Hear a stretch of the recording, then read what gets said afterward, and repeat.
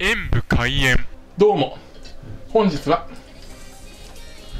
ちらサントリーの伊右衛門特茶を飲みたいと思います。これ前に飲んだことあるなあるのかなと思ってたら 飲んでなかったんですね。動画でさて体脂肪を減らすのを助けてくれるお茶。普段からこういうもの食べてるからこういうのに助けてもらわないと。では飲んでみたいと思います。うんごめん。飲んだと思ってたんだけど特保のお茶だからといって別段まずいというわけでもなくすっきりとした苦味で普通に飲みましたがそ別に逆に極段美味しいというわけでもないですね。まあ普通のお茶ですね。緑茶です。甘いものにも合いそうですね。ご視聴ありがとうございました。コメントしていただけると嬉しいです。なんかまとまりがない。パソコンおよびスマートフォンのアプリの方はクリックをお願いします。